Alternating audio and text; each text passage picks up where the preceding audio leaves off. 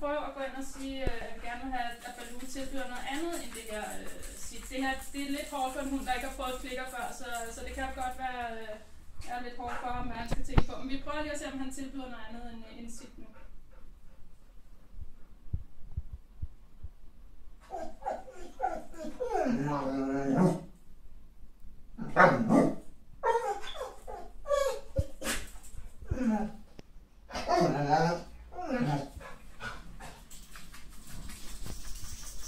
Grunden til, at han siger det, er, at han bliver lidt frustreret over, at han plejede at få godbidder for at sætte sig ned i det her sit, og det fik han ikke nu. Øh, så nu skal han jo tænke over, hvad søren det er, jeg så vil have.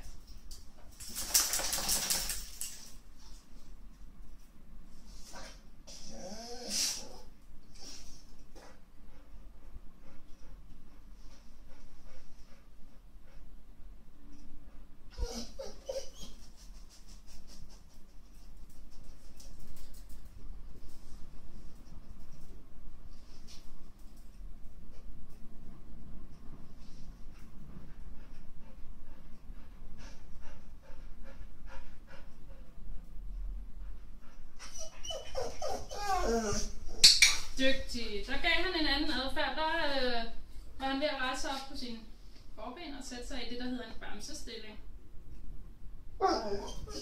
Det er faktisk super flot. Dygtig.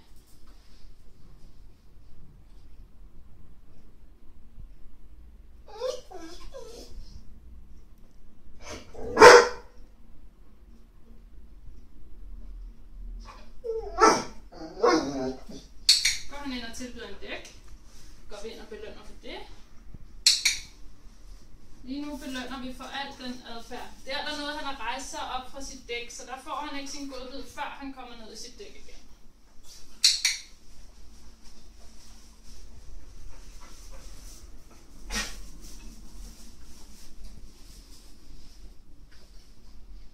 Og samme måde som vi egentlig træner sit, går vi også ind og træner dæk. Det vil sige, der træner man også på tid og på afstand.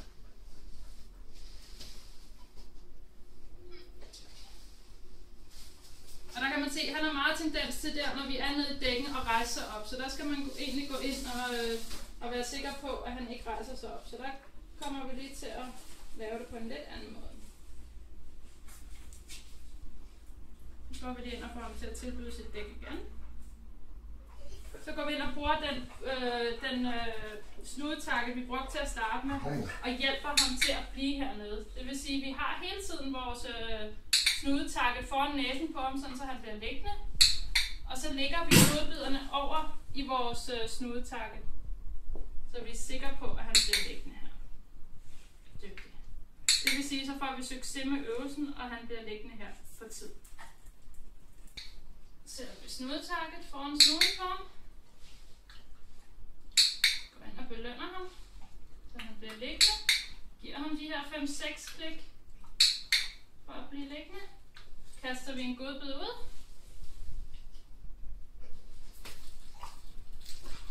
Og får ham tilbage. Tilbyder dæk igen. Det gør han lige med det samme. Dygtig.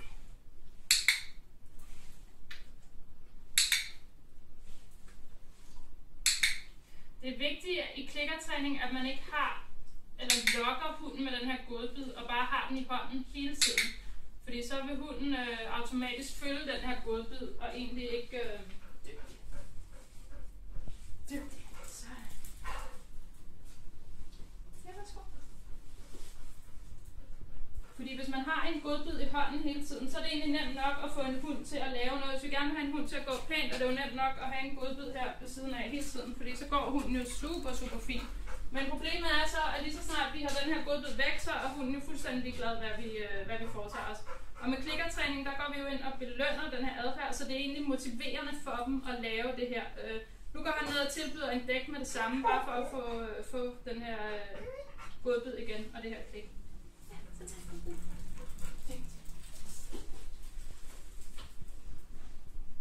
på trods af, at det her det er første gang, at, øh, at Baloo han har set en klikker, så øh, er han allerede super god til det.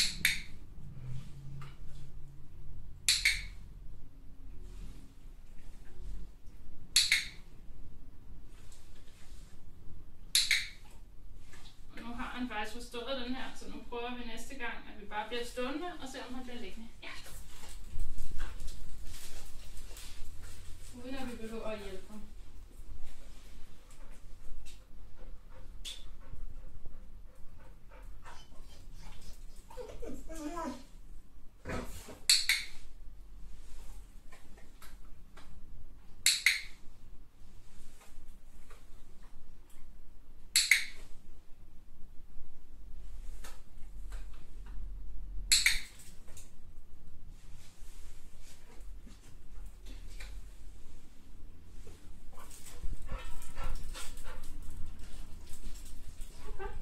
Sådan.